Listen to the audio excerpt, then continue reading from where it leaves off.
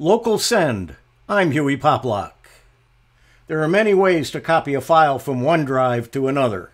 Mail it to yourself. Use Google Drive, OneDrive, and other cloud storage locations, or use an app like SimpleNote. LocalSend is cross platform, working on Windows, Mac OS, Linux, Android, iOS, and Chrome OS devices. You can download LocalSend as an EXE, ready to install, or as a zip file and run it as a portable app without installing.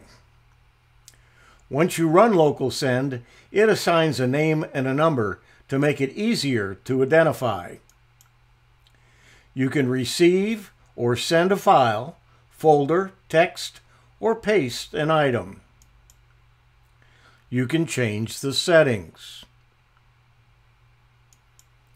There are even some advanced settings. There's a community of users for getting and giving help. And here's what the community looks like. And again, the community. Plus, there's help and information on Discord. Here's the install for an iPad.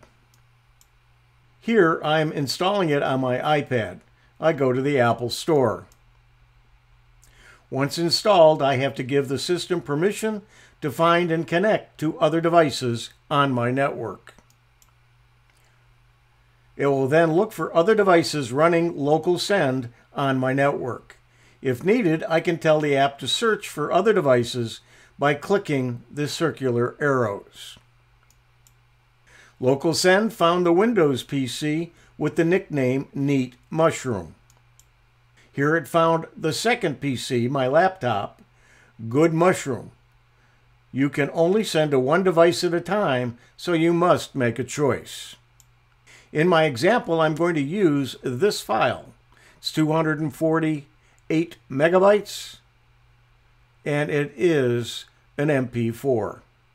So let's take a look at how all of this works. Here we have the LocalSend program, and to the right is the phone, and at the bottom is going to be the file that we're going to uh, transfer. So we click on File. We're going to then choose the file that we want to send, which is right here. It to send. We have to choose which device we want to send it to. We're going to send it to the phone or the Samsung phone.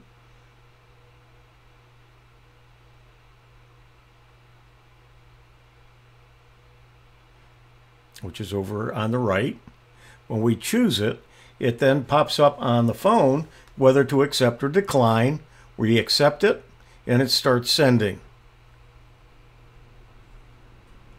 When it finishes, we click Done.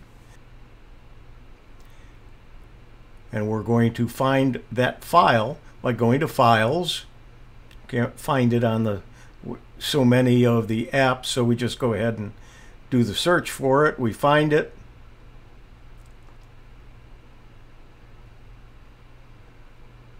We click on the file that we want.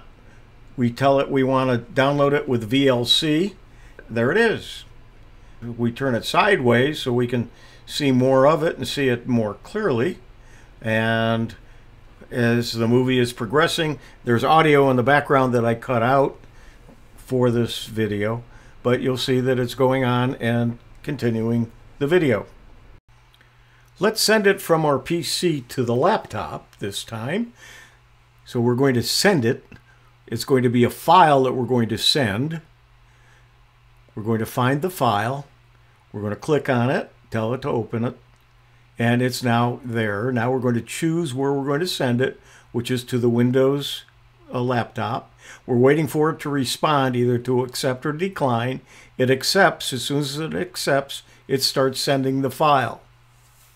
When it's done, you click Done, and it is now on that computer. You can find LocalSend at these places. LocalSend I'm Hewie Poplock.